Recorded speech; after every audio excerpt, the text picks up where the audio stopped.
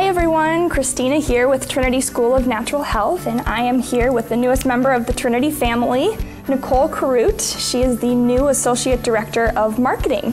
So I have Nicole here with me and just wanted to welcome her to the Trinity family. So if you could just share a little bit about yourself to everyone. Definitely. Hi, I'm Nicole.